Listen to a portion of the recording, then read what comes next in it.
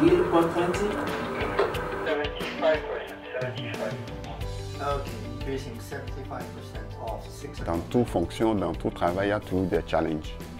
C'est ça qui a fait que la direction générale du port autonome de Cotonou, et en collaboration avec euh, le PAI et parrainé par Mabel, nous ont trouvé une formation. On est à 4000 km du Bénin, précisément, c'est assez loin, mais on a, on a simulé, on a modélisé le port de Cotonou pour pouvoir euh, tenter de nouvelles manœuvres avec un nouveau type de matériel, c'est-à-dire de nouveaux remorqueurs. La formation qui, est- qui était organisée ici, c'est de venir s'exercer euh, sur le simulateur.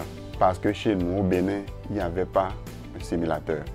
Donc les- on est là ici pour apprendre à adapter notre manœuvre à ce changement de matériel et essayer de voir dans quelle mesure on peut un peu améliorer ou euh, changer la façon dont les navires sont manœuvrés au port de Cotonou.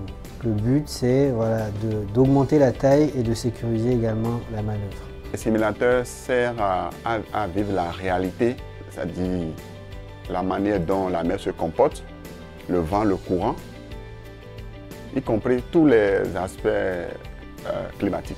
On a vraiment en fait une projection à 360 degrés euh, d'un environnement de navire. Donc vous avez vraiment l'impression euh, que vous êtes sur un bateau et c'est des images qui sont projetées euh, tout autour de vous.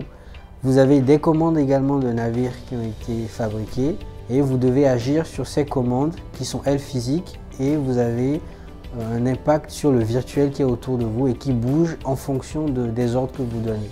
Ça a un comportement assez proche de la réalité et la façon dont vous vous comportez en réalité, c'est quasiment la même chose que ce que vous faites euh, dans le simulateur. Nous sommes trop contents par rapport à cette formation. Le travail se, se déroule très bien et est très intense. Les méthodes de travail ont changé, le système des manœuvres ont changé, et puis tout a été changé. On essaie tout le temps de repousser les limites, d'être toujours euh, dans les conditions les plus difficiles possibles parce que si on s'en sort dans les, conditions les plus adverses, dans la réalité, ce sera beaucoup plus confortable.